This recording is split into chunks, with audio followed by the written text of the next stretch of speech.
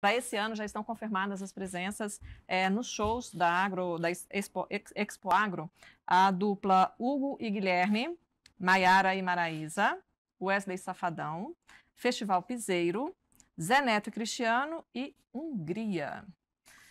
É, que, é além, que é de Brasília, né? É, Exatamente, bem lembrado.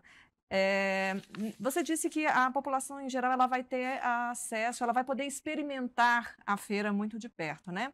Mas tirando a, a, essa, essa possibilidade dentro da exposição, hoje se é, qualquer pessoa quiser, por exemplo, ter essa experiência de montar um animal, é possível já de dentro desse espaço da feira? É possível. A gente é, começou com a, o projeto da granja, ele é para estar aberto todos os dias do ano, e já está. Então, há dois anos atrás, nós, nós estabelecemos esse projeto. Se você, de domingo a domingo, de 8 horas da, da manhã até as 11 da noite, o parque fica aberto.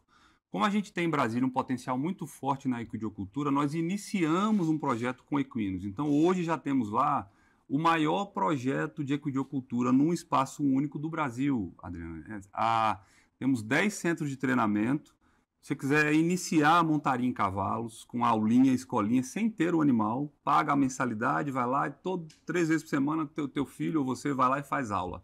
Se quiser praticar um esporte equestre, tem mais de 10 modalidades sendo praticadas dentro do parque em nove picadeiros. Então, realmente, é, quem gosta ou quem não conhece e quer conhecer é, e ver como é que é tratado um animal, como é o cuidado desse tipo de animal, frequente o parque, ele está aberto e a gente vai te receber com muito carinho.